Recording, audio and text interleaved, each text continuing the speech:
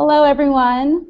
Welcome to our Google Plus Hangout, Freelance Photography 101. My name is Glory, and I'm the online community organizer here at Freelancers Union. We're thrilled to have Alex Koloskov with us today. I'm going to share a little bit about what Alex does. He's a commercial photographer based out of Atlanta, Georgia, and he's completely self-taught.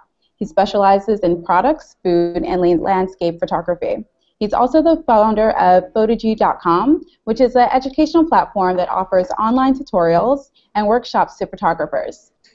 Thank you for joining us today, Alex. Hi, Glory. Thank you. My pleasure. My pleasure. So thank you so much. So we're going to get started, everyone. Um, the first question, just out the box, how did you get your start in freelance photography? Well, photography was a hobby for me for, for a long time, and um, I came in US as a programmer, as an IT specialist, and we came. I came with my wife in 2001, if I remember correctly. It was exactly the time when uh, that dot-com bubble collapsed.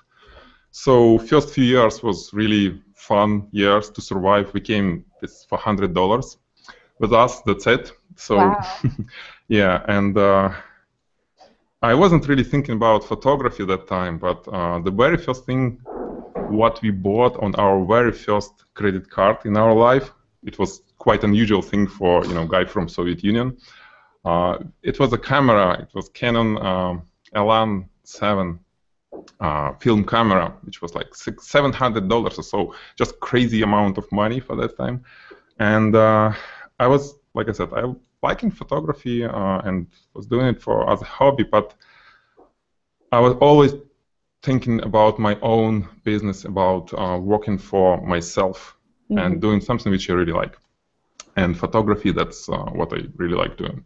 I tried, um, first, of course, I tried to shoot um, people, some flowers, uh, some just landscaping, stuff like this.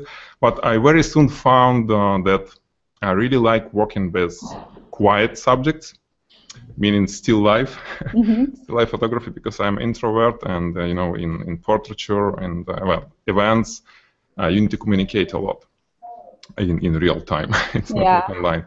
So yeah, I started um, learning just myself, doing it uh, in apartment's bedroom, wherever I want, you know, shooting some little things. And uh, in 2006, we registered a business Mhm. and uh, that's uh, when we start promoting uh, our services as uh, commercial studio photography services. That time I still uh, was kind of doing portraiture a little bit, but yeah, this is how it started. And I, in parallel, I was working as a programmer for a long, long, long time. You'll be surprised how long when I quit. I actually quit in 2013, 3rd of January. Wow. Well, Everything I did was congratulations. Yes, it was. Thank you. It was all in parallel. I was very uh, cautious because, well, you know. Well, that's interesting. So you Yeah. were saying the first thing that you got when you arrived was your camera. For a freelance photographer, what's the first thing you should invest in, or what are the tools that one should start using immediately when they decide I want to become a freelancer? Well, probably camera at least. yeah, that's and the lens. Yeah, but uh, the very. Uh, I think I would be much more uh, successful. I would say probably faster to get my success and where I am if I would know what. Uh, I'll be doing what I really like doing. I didn't invest in this, and it was one of the well, I wouldn't say mistakes, but now I know that if I would concentrate of something much uh, more narrower than just trying to do everything, hmm uh, where you know I can get money. Uh, if I would be just product photography, still life, jewelry, uh, liquid, all that stuff, which I really passion doing. hmm Uh, if I would know it from the beginning, I would probably would I would say penetrate much deeper into that you know business because I spend a lot of time doing with things which I don't really enjoy, even with photography. So how does one figure out what they are going to do as for their specialization? Is it just if you're passionate about it or doing research? Well, uh, I didn't do research. Uh, what I did over time when I started doing this, it was something which I was ready to do without any money. I mean, without uh, monetary compensation. Something which I would do just for fun. hmm Because you see, I had a job. Uh, I had my, uh, I was having my paychecks every month, so it was covering my bills, all this stuff. It just wasn't covering my passion. Yeah. And uh, yeah, just follow your passion. Find out what you will do uh, without even if client won't pay you. That's that's really good advice. So, Mm-hmm. how did you start finding your first few clients? Uh, well, at the time in 2006, um, it was Google actually. Clients uh, found us uh, through the Google search, just Mhm. local search, and it was few uh, listings. It, uh, they dead now, but um, it was like a local website with listing uh, of photographers, so Okay. local people can can find uh, local photographers. That's how I got my first clients. We did some uh, SEO search engine uh, search engine optimization that time and it kind of worked well for us uh, having the portfolio. I was trying to do networking because the very first thing uh, I mm, I got you know a suggestion when I was looking online how to find clients. Yeah. It was like, hey, go to any uh, business um, events, kind of where you can do networking. It didn't work for me, unfortunately, because I'm introvert, and uh, I even now feeling really uncomfortable, you know, doing online stuff, even though I do all this Well, well, you look great on the video. well, it's you know inside. So that time it was just I was hiding in a corner somewhere on the, on those events, just thinking where it will be done, and uh, so I can go home. So it didn't really work well. but yeah, online, yeah, clients found me and they said I just searched Atlanta product photographer, Atlanta studio photographer, and they found me. Wow. Well, from there, did you start to build referrals? How was that finding other, um, connecting with other people?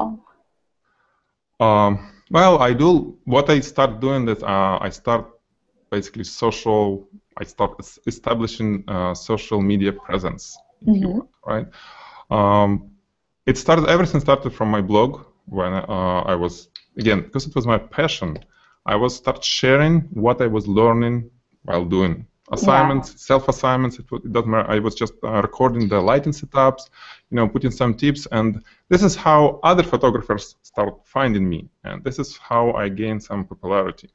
And um, again, I was one of the first who started doing this in that niche because nobody was sharing anything about jewelry photography, about product photography. Uh, you know, whole internet was about uh, weddings, portraiture. You know, you can find a lot of technical details how to do this, but not about this. And somehow I didn't didn't even realize it at the time, but uh, I was one of the first, or maybe I'm first. I don't know.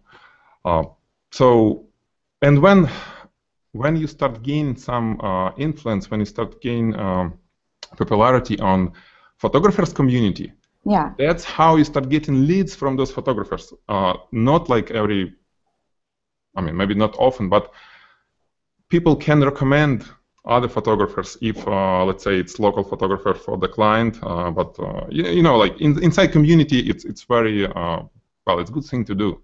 Yeah. So community is very important for you. Say it again. Building a community is very important for you. Yes, yes, it was very important, and uh, I still believe that uh, now it's even more important than six, seven years ago because Yeah. the time, uh, again, we invested some time uh, on uh, search engine optimization and finding those tricks, uh, how to, you know, work with uh, Google behind the thing, you know, to, to get some search leads, uh, I mean, s- s- uh, to get better ranking and stuff like this. And it was working well at the time because I think Google uh, algorithm, Google search was not really clever. But now it's you need to be real. I mean, you, you can't fake anything. You can't really do any kind of doorways or you know some Yeah. that crazy stuff. And only social social media, the real presence uh, is what helps.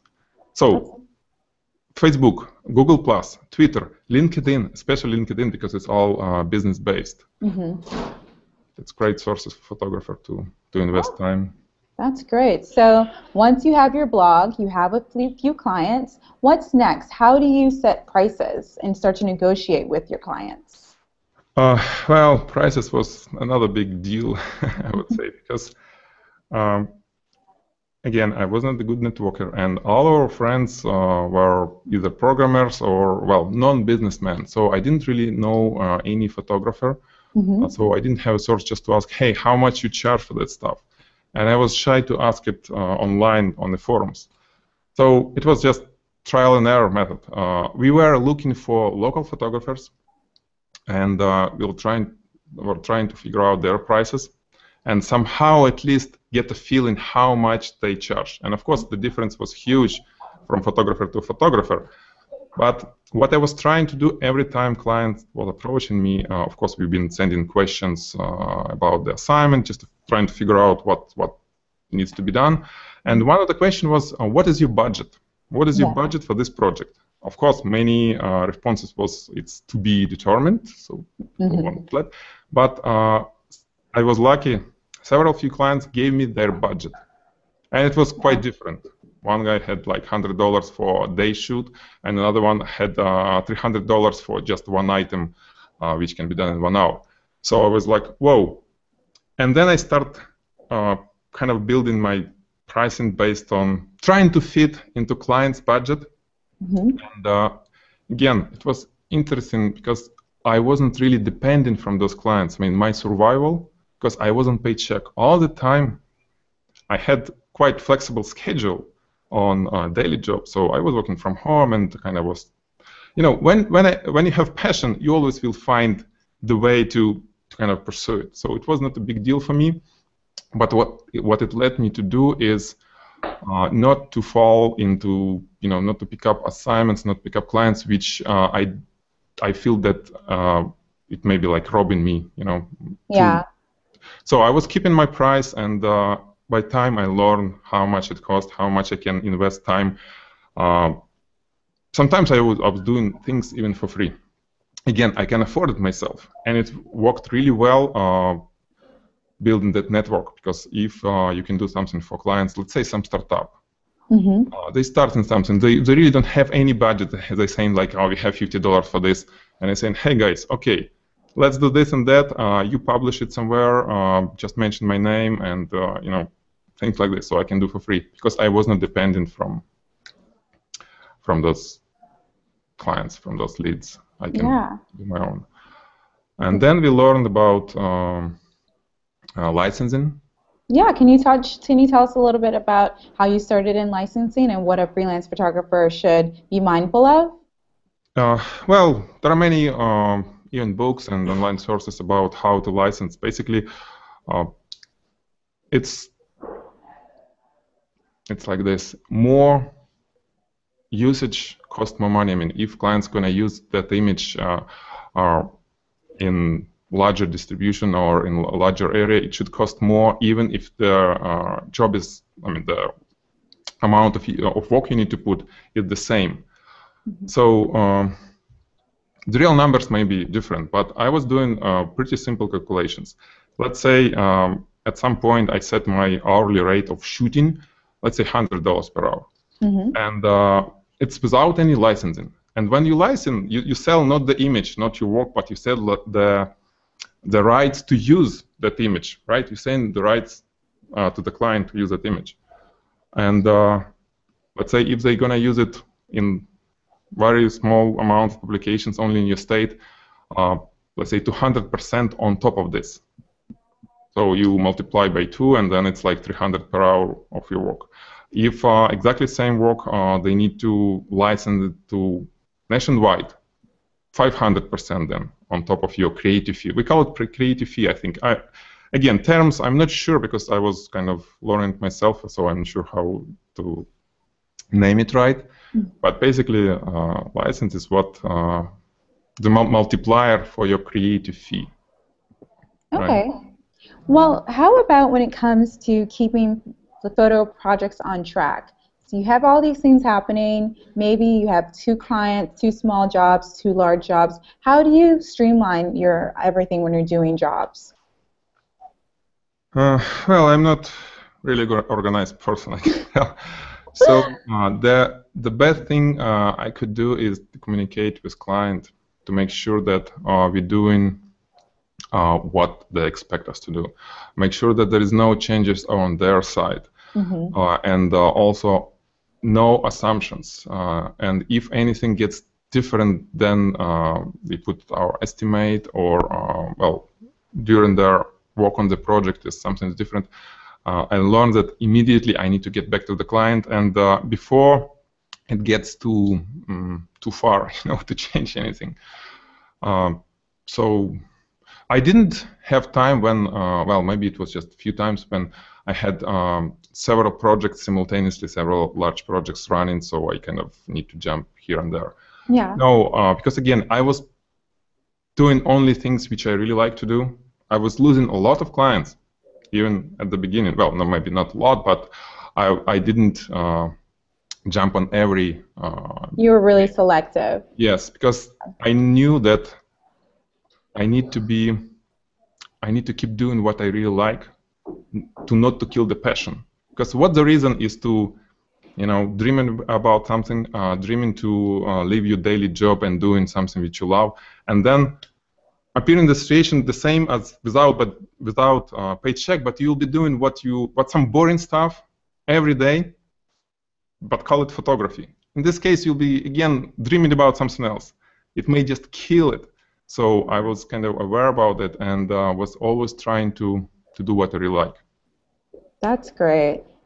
So as you continue your freelance career, I, I love your site that, that, that offers education to fellow freelancers and photographers. Um, how do you in, continue to stay inspired in this line of work? What keeps you motivated? Well, education, educational business, I would say, or helping other photographers is uh, much more. Uh, it drives me much more than shooting, working for the client.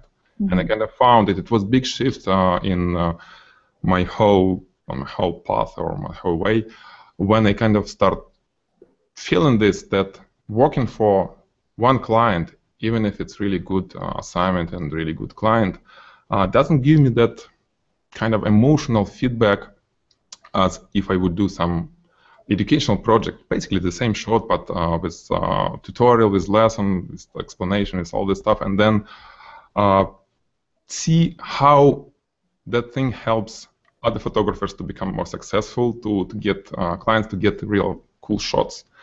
It's just, well, it's amazing feeling.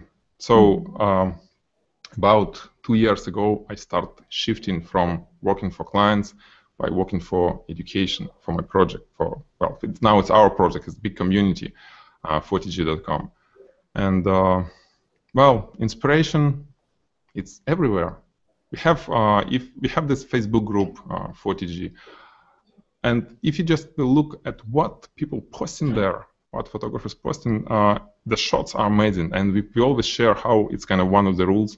We always share how we did the shot, so the lighting setup, some explanation, and anyone can uh, ask uh, author, the photographer, additional questions. And I don't know, I have very um, a kind of engineering mind. I, I, really want to dig into these details. So when I see something, new ideas start popping up in my head. How would do it differently on different subject? But you know, it's it's everywhere. Inspiration. if you're doing what you love. Simple. So how about the horror stories? I know it's great to have amazing things happen, but I'm sure you have some horror stories too. Can you tell us some things maybe clients have done and how you've been able to overcome that obstacle? uh, yeah, horror stories. That's we most of the horror stories came from uh, mis- miscommunication with a client.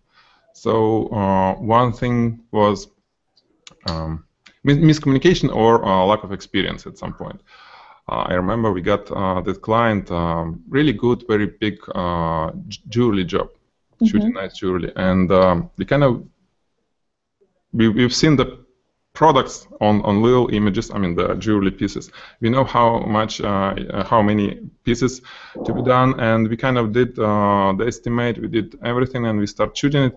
But once I got things in the studio, first time when I've seen the actual items, it was the first day of shooting day, and it was big mistake because it was so uh, dirty, so worn jewelry, very expensive though.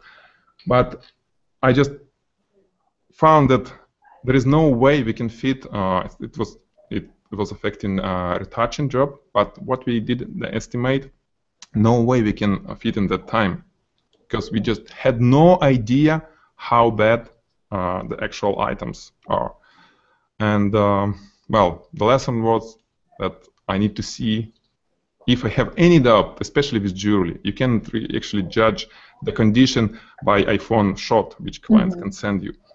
Uh, you need to really see the item, or at least talk, make sure that it's new. For example, brand new, no scratches, uh, and stuff like this. Because that time, we've been doing much more retouching job than uh, we are thinking, and uh, we're doing we are doing it much longer. Mm-hmm. So both sides uh, felt that uh, something is, is not right. We, we kind of we did more than we get compensated for, and client got a little bit. Well, it was not big deal I mean, big delay, but still we need to hire uh, another retoucher. So it was quite um, experience, learning experience, I would say. well, in in, in uh, landscaping, I was doing architecture shots um, uh, for a large uh, apartments building and renovating, and uh, it was a shot in Florida. They did some luxury apartment homes, which should be done in and inside and out. I mean, the images. So I flew there without looking at uh, weather conditions. Oh no! And just found that it's rainy. No. And it was yeah, it's stupid, you know that kind of thing. It's so easy to but. So we we ended up I, I was ended up shooting under the rain and we did huge fun in Photoshop, you know, putting that nice skies and all that stuff. Uh, mm-hmm. I mean, because the client should that kind of apartment it should be done on perfect weather conditions uh, so always well you need to always watch for conditions if it's outside. That's why i uh, like studio shots. I control everything here. There is no rain there is just uh, so. Well you bring up retouching are there any tools that a, a photographer needs? You know there's photoshop there's lightbox like what would you recommend that they have in their toolkit when it comes to retouching or editing uh, in general? Photoshop is the giant. I mean, we always use Photoshop, uh, the retouching. Uh, I use uh, Capture One uh, as my um, tethered solution because in studio I always shoot tethered, and I used to use uh, Lightroom, great for tethering, but once I shifted to medium format cameras, Lightroom uh, doesn't really work well. Well, I think it doesn't work at all with medium format. So I switched to Capture One, and it's really good. It's, it's it has some really cool features, uh, but it's for tethering. For retouching Photoshop, uh, we have it's again. It's not me who's doing this. Uh, my wife, uh, she's co-owner of the business, and she's our retoucher. She's our Photoshop guru. She's she knows it much better. But I know, uh, for example, one of the plugins which helps us a lot is Topaz DeNoise. Okay. Basically, plugin for uh, reducing noise on uh, you know noisy photos, uh, but we use it uh, a little bit different because because there is no noise in studio. I shoot at ISO 100 or 50, uh, but uh, it can be used to polish um, glossy metal or anything glossy to mm-hmm. kind of polish it in Photoshop, and it's it's really great using the the noise Topaz DeNoise tool. So and also. Um, Color Efex for landscaping. Now, um, Google bought it. I forgot the name uh, of uh, the whole plugin family, but I especially like uh, Color Efex. Oh, that's great. Well, another tool that freelancers often need are, to be aware of are contracts. Do you have any advice about when it comes to writing your contracts? Uh, well, just make sure to uh, to put everything, uh, all possible conditions uh, into a contract, because again, it may lead to some, if it's misunderstanding uh, at the end, uh, especially on the contract, it's not a good thing. Again, one uh, horror story from this.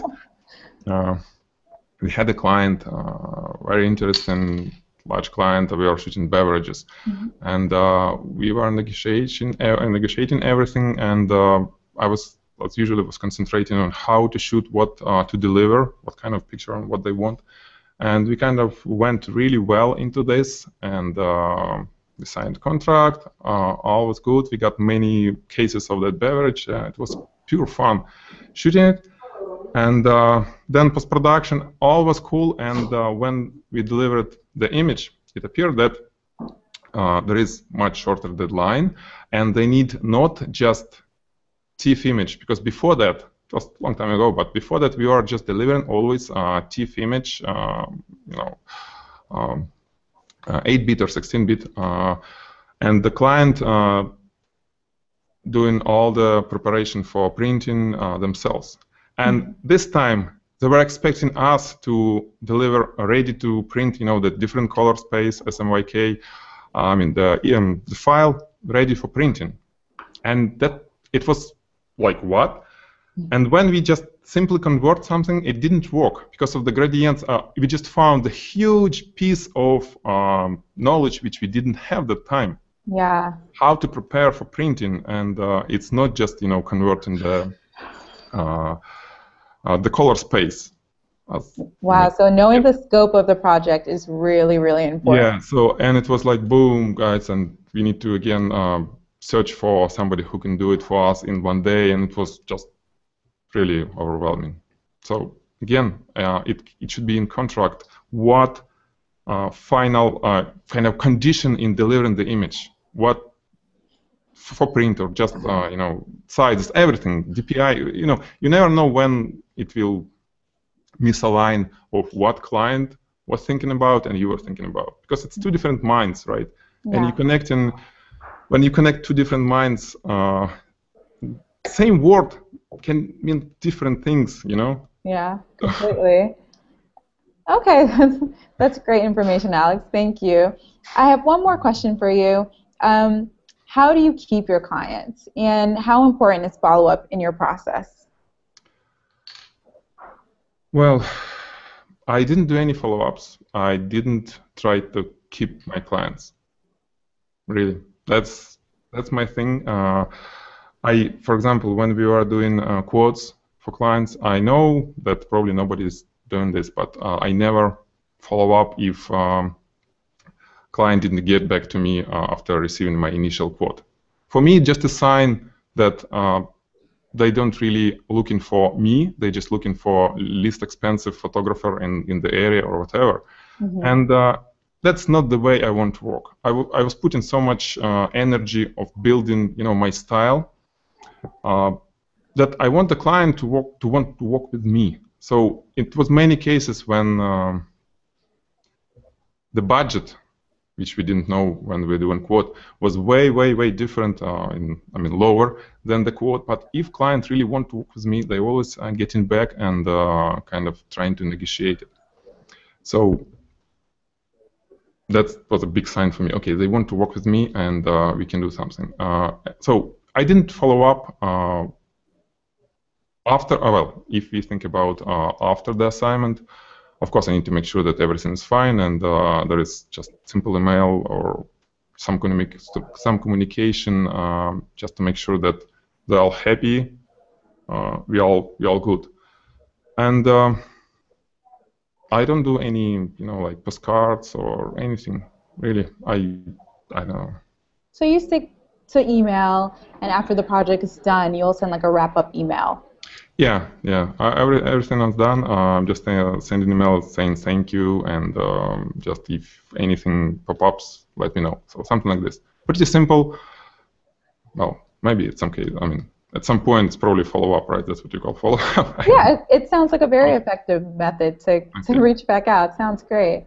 Um, and we're going to take one or two questions just from our Google Plus audience. It says here um, it looks like people are concerned about protecting their photos. How do people protect their pictures from getting stolen, or um, when it comes to protecting them with copyright? Can you offer some feedback about that? Uh, yeah, sure. Well, I'm I'm not looking at this as protecting images. I use my images as my advertisement agents. I would say. Uh, I don't really try to protect them. Yeah, I have a little watermark at the corner, but it's mm-hmm. not protection. It's really easy to cut it off if you want to steal. It's not a problem. It's more if uh, somebody wants to find me, find the photographer, they have this ability. But protection, I don't think you need to try to protect it. Uh, much more, it takes, it will take energy, and uh, it's still hard to track, uh, yeah. track uh, who's, I mean, is it was stolen, where. Much more, uh, much better solution at least it worked for me, is to invest in your brand, invest in your style. And if somebody will steal the image, you'll be notified because people will recognize your image. And I'm getting like every week I'm getting email from fellow photographers saying, "Hey, here's your image," and usually it's just other photographer using in portfolio or on Facebook or something like this, something very simple. And again, I can use it uh, just to boost popularity. I can do some little buzz. Hey, you see, that's funny. My image there, kind of cool. Uh, I'm glad I'm popular. You know, at the end, I'm getting more visibility. I'm getting more. Uh, uh, well, people know more that that this is my images. It, it works for me every time I'm stealing. And uh, if some serious business will steal your image, again, just make sure that people will recognize that it's yours. So you will know somehow you'll get notified, and then it's probably time for a lawyer, right? Uh, and you can get some pretty good compensation if it's uh, some serious business stole it, not like just some photographer from third country, you know. So, so that watermark sounds pretty important. Yeah, little watermark, I think it's good. It's it's good, um, but the idea is to make photos recognizable, not by watermark, but by your style you know, it's interesting. Sometimes uh, people saying, "Hey, Alex, is it your photo?" And uh, there is a photo, not mine, but it's liquid. It's kind of splashy. It's it reminds probably photographer uh, look at uh, some of my tutorials and did something similar, and people thinking that it's mine. You know, it's kind of a little bit probably too much, but this is the best protection. I mean, in in terms of uh, just make it recognizable.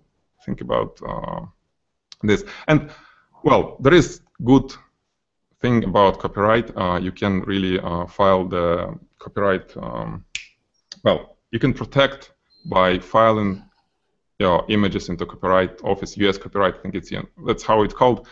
We have a good book actually. Uh, a photographer from San Francisco, Alex Stepanov, wrote e-book uh, showcasing the whole process of uh, filing the copyright. Uh, it's not a claim. It's basically um, how you call it it's filing your images uh, under that uh, copyright office. Oh, it's copyright office. That's how it's called. Okay. So, but I never did it. I never did it uh, for me because uh, I don't think in photography need to spend time to kind of really protecting it. It's better to to share. To share and uh, yes, spend on making and it. Have a unique style. Exactly. Exactly. Well, I think we're almost done with our, our Google Hangout, Alex. Do you have any final words of inspiration to our audience? well, I was talking so much about you know passion and uh, kind of doing uh, your way. So probably I would just repeat that it's very important. Whatever you do, just make sure it aligns with uh, your vision, with your vision, with with how you see your future as a photographer, as a freelance photographer, as a business owner, anything. Because sometimes it's really hard to find uh, the answer in, in, in some situation when you need to choose between here and here, and uh, there is not enough uh, basically data to judge uh, the right solution. And for me, uh, it only works with if I have a vision, I set it, I kind of work on trying to imagine what I want to be how I want to live, what I want to do in 10 years or so. If I have that vision, it's very easy to check anything which going on right now. Is it aligns or not with that vision? And it's the answer for almost any questions which uh, is not obvious. I mean, the answers. You just make sure that, well, so let's put it this way. When you do anything, make sure it aligns with uh, your true passion, with your vision of your future. That sounds yes. perfect. Yeah. Thank it you really so works. much. Really works. Thank you for joining us today. It was really great learning about freelance photography. You gave us the full 101. Thank you, Gloria. It was uh, my pleasure, and uh, well, I hope to talk to you sometime in the future. Uh, feel free to well eh, to anyone who's watching us. Um, I'm open to I'm open on Google Plus and Facebook. Uh, post your questions. Uh, well, whatever you want. I'll be glad to answer. How, how can people find you on Facebook and on Twitter? Do you want to share your handles with us? Uh, on Twitter, it's A Koloskov, and on Facebook, it's Alex Koloskov. But the best way, probably, if you want direct uh, answer, it's on Photigy. There is a contact form on uh, sidebar. Uh, I receive all emails from that uh, form, and it's it's a lot of emails, but I read every email. I may not uh, answer because sometimes just some you know uh, troubleshooting organization stuff. So our uh, team members helps on this. But if it's something personal, uh, I read and I answer. Perfect. Thank you so much. Have a great day. Thank you. Thank you, Glory. Have a good day. Bye.